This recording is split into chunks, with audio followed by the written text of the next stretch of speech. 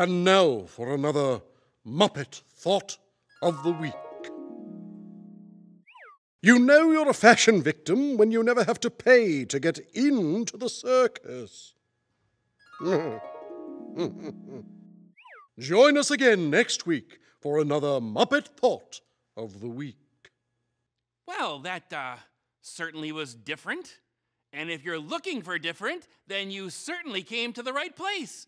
Yeah, click here to subscribe and watch more. Go ahead. It won't bite.